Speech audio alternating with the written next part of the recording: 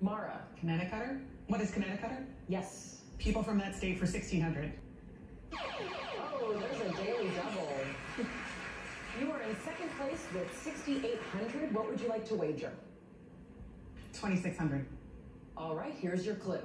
Two of the three states whose final S becomes an N to describe their residents.